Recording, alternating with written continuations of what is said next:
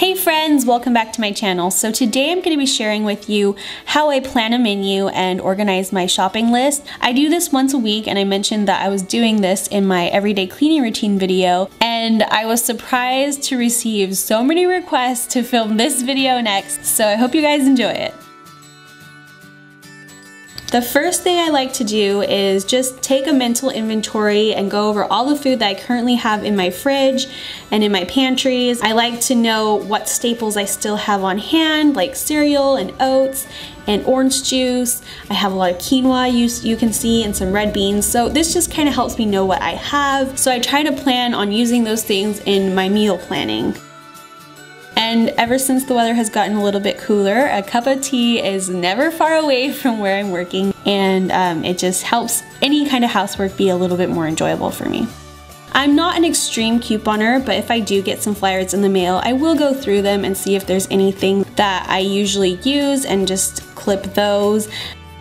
Uh, this time around, the only one I found was for some almond milk that I always get, so I did clip that to save for later. Now that I'm a stay-at-home mom, um, we obviously don't have my income, so I do try to shop on a budget. We used to spend about $100 a week for groceries and now we've cut it down to probably 60 to $70.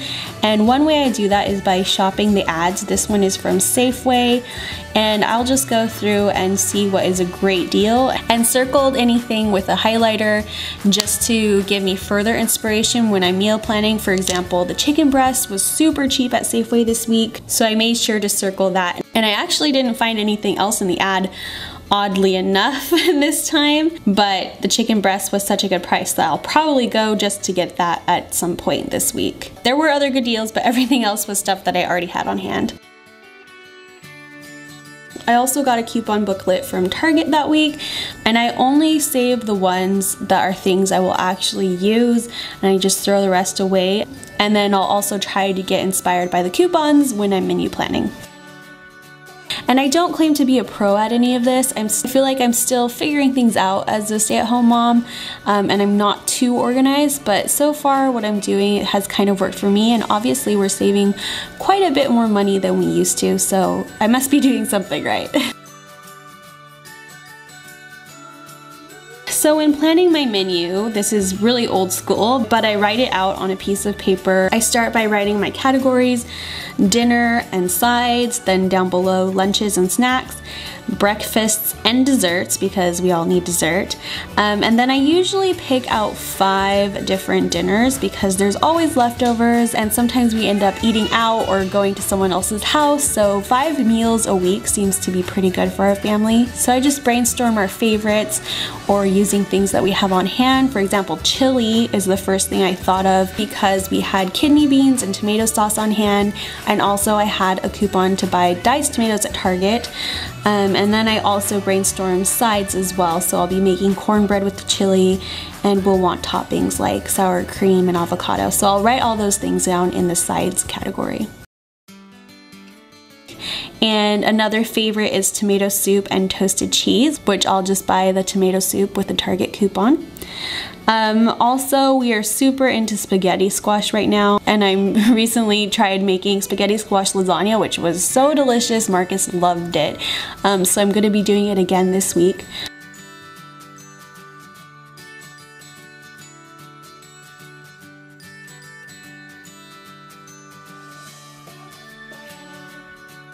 And if I ever get stuck without inspiration, which happens a lot when you're planning so many meals.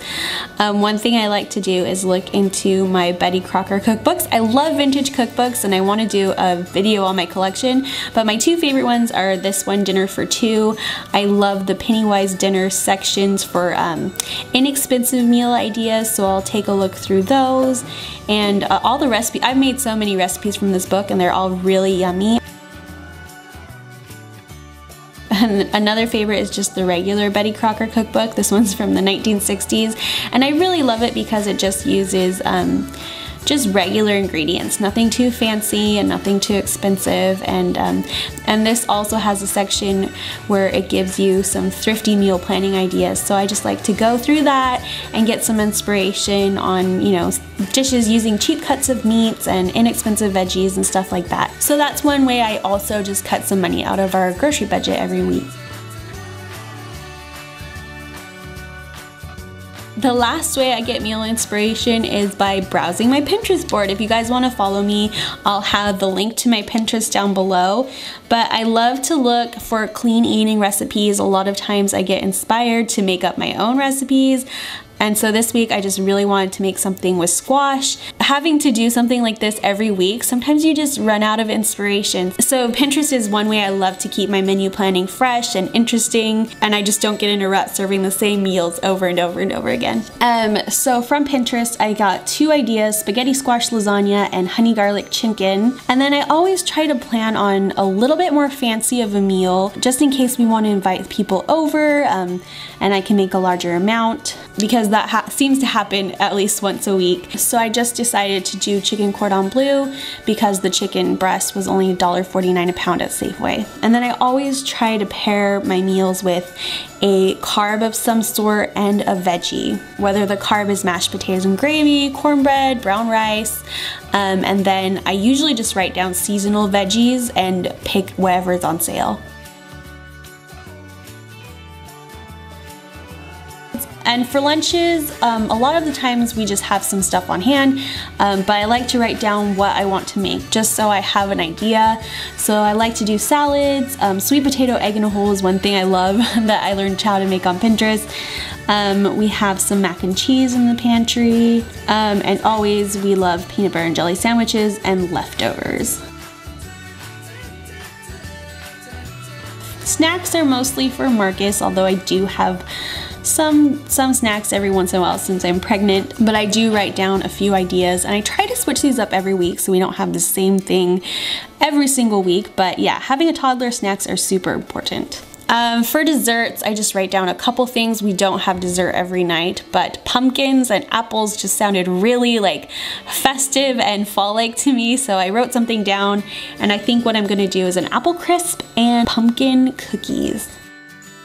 For breakfast, I just write down the things that we have and the things that I feel like having for breakfast that week. We have oatmeal and Malt-O-Meal, but I wanted to get some yogurt and make my own granola. And I usually pick about four or five things per category so that we have some variety throughout the week. And now that I have my menu planning done for the week, I'm going to start organizing my shopping list. Throughout the week, I will be recording down staples that we are out of and then organize them on my list.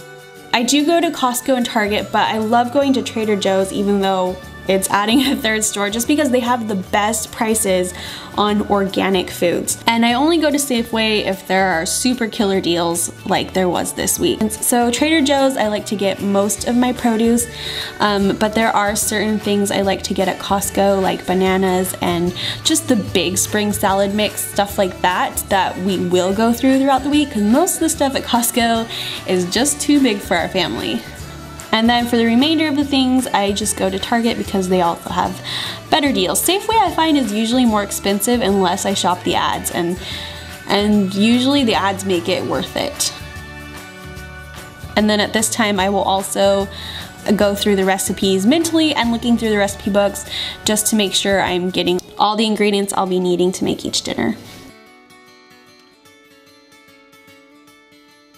So that's my shopping list organized. Um, I do go to three different stores, but it's just ends up saving us a lot of money. And um, most of these stores are right really close to each other, so it's not that big of a deal to go to multiple stores. The last way and my favorite way to save money is through the app Ibotta. If you guys don't know what it is, it's basically a reverse couponing app. So you can scroll through each store you're going to and then see if they have any coupons out and you select those and when you get home with your receipt, you just scan the item and take a picture of your receipt and you get cash back, which is amazing. Um, I'll have more information on that in the description box below if you guys are interested, but this really is my favorite app. They'll even start you out with a $10 credit once you redeem your first coupon, um, which is really cool. So if you guys want to do that, the link is down below. They will either give you gift cards or cash through PayPal or Venmo and it's just an amazing thing. As you can see, I have made so much money over probably like the last year that I've been using Ibotta. It's a really great app. So that's the end of this video. I hope you guys got some helpful tips. Like I said, I feel like I'm not that organized, um, but this is just what works for us and saving money is really important. So I do put in a little bit extra work for that. I hope you guys are all having a great day and I will see you all in my next video. Bye guys.